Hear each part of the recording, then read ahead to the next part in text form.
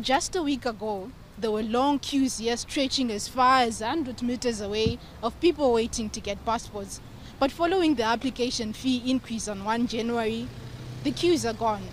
Applicants will now fork out 150 United States dollars for an ordinary passport, up from 120 United States dollars.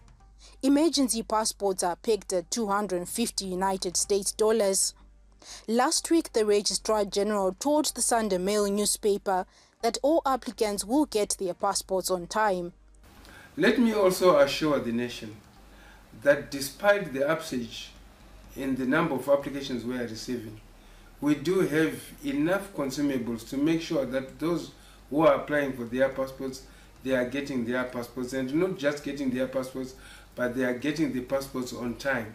For the ordinary, it is seven days, and for the agent passport, it is 48 hours, that is two days.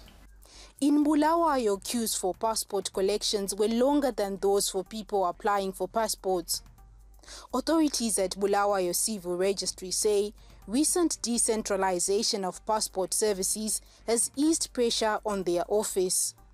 We don't have that many people, and we think that it's because we are now sharing our clients with other people. Like here in Matabeleland alone, we have got uh, Mat North, which is Lupane. We have also got Hwange in Mat North. So that side is taken care of. The Mat South side of things, the, we have got Gwanda, we have got Beitbridge, and Central is us, Bulawayo.